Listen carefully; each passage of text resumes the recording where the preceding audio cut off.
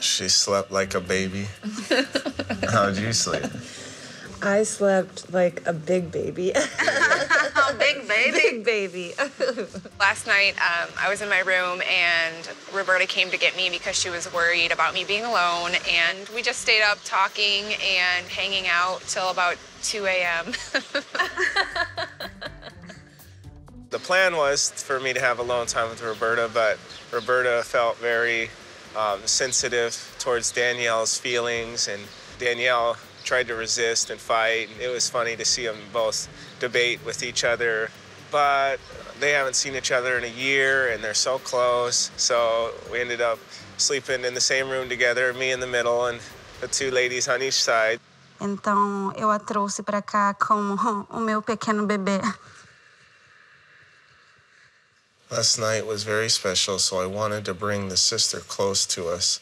I was not going to be able to leave her alone there in the room because after a long time without seeing us, my love spoke louder, so I brought her here with my Little, little baby. my little baby. Oh wow.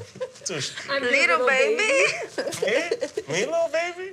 Sister. Oh, sister. Oh, okay. Thank you. It truly means a lot to me that Garrick and Roberta would set aside their intimacy for that first night.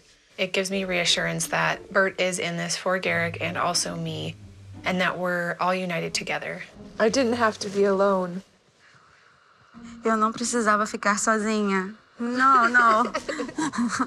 United sisters. Amen.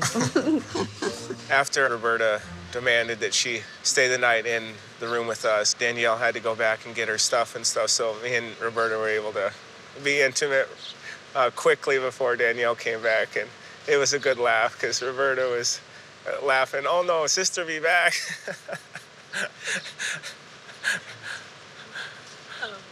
Does Dannielle know that? no.